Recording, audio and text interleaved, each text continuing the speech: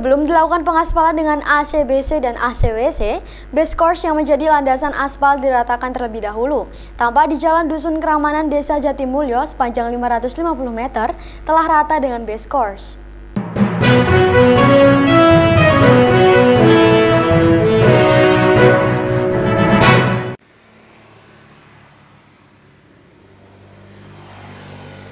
Pemerataan base course telah dilakukan warga Keramanan dan TNI Satgas TMMD Senin malam. Pemerataan base course sepanjang 550 meter juga telah dilakukan penekanan dengan stamp roller. Diharapkan dengan tekanan tersebut akan memperkuat rekat tanah sehingga tidak berongga. Sebab munculnya rongga dapat menyebabkan pecahnya aspal. Pemerataan jalan dengan base course dimulai dari ujung selatan Jalan Keramanan hingga pintu masuk Dusun Keramanan. Rencananya pelaksanaan pengaspalan Jalan Keramanan Rabu pagi.